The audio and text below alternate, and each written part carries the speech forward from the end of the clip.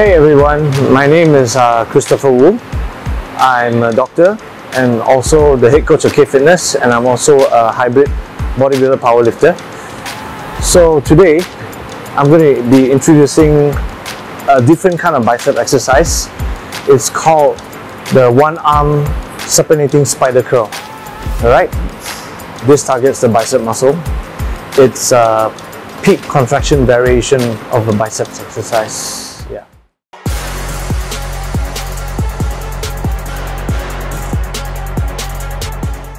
Jangan lupa untuk klik butang like dan yang masih belum subscribe jangan lupa untuk klik butang subscribe ya.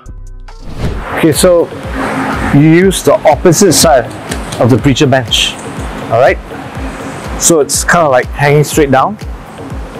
You can grip the dumbbell like this equally or you can grip it in a hammer grip higher up here to add more resistance to the supinating.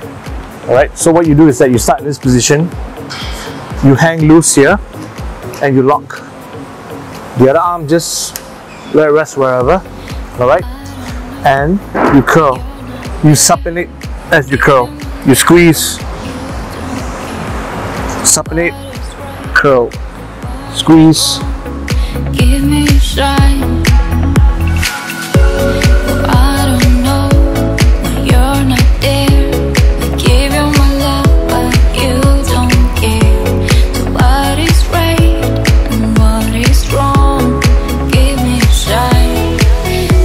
Okay, so that's how we perform the one arm supinating spider curl. Now the thing is this, my biceps are one of my worst body parts.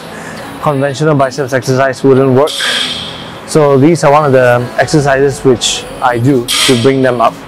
Okay, but then you need to realize that you are limited by your genetics. You just have to do different things to make them grow, right? So I hope this helps you guys. And don't forget to click like and subscribe to Nutrition Pro for more tutorials from my side.